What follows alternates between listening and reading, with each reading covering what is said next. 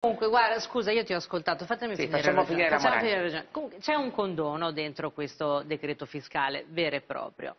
C'è, quindi iniziato, il governo del cambiamento inizia con un condono edilizio su Ischia e il centro Italia, un condono fiscale, poi c'è anche il condono per le banche, perché c'è una norma fantastica sui cosiddetti truffati alle banche che eh, darebbe ai, ai I truffati poveri- dalle banche sono quelli che truffati- hanno subito le truffe per Montepaschi del Siena, no, Etruria, banche venete. cioè, ci sono, Ci cioè, sono le quindi, banche venete o no? quindi Arriviamo dunque. io.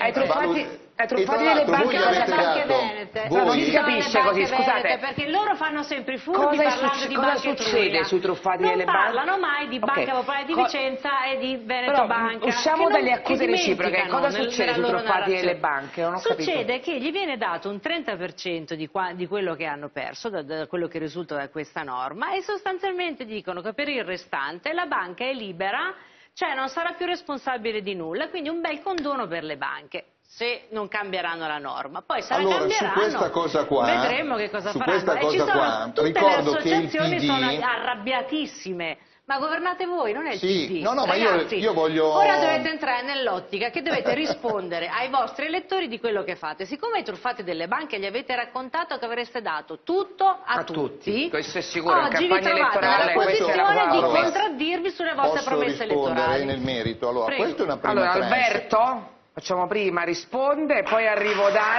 e da De Mangione. Allora, in primo luogo, allora, la genesi della truffa delle banche sappiamo benissimo da dove viene. Primo, Da dove il, viene?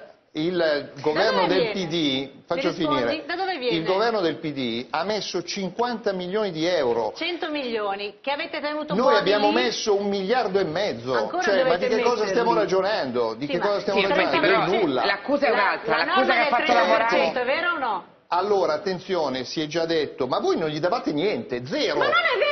Zero. Infatti, posso dirle, bugia 100 clamorosa. milioni di C'è euro. un fondo di 100 milioni, Ah, 100 sono già milioni stati ristorati. Ma infatti posso dire- ristor- Ma Ma è inutile che metti un Mi miliardo e mezzo ascolti se non glieli attimo, dai. Infatti Scusa, non è la Morani, il problema Eh. sono i truffati delle banche, Eh. non è cosa ha fatto il PD, il problema Allora, è il cosa diciamo a quelle persone in cui in campagna elettorale abbiamo detto vi ridiamo che In tutto? questo momento c'è un primo intervento forte di un miliardo e mezzo. Sì, che ma non il è- 30% è vero o no che la norma di cui ho rispetto alla situazione precedente è un miliardo, 15 volte più di quello che Ho dava capito, il governo Roberto, non siamo 30%, perfetti ma siamo meglio del PD, no? questa è la ciccia.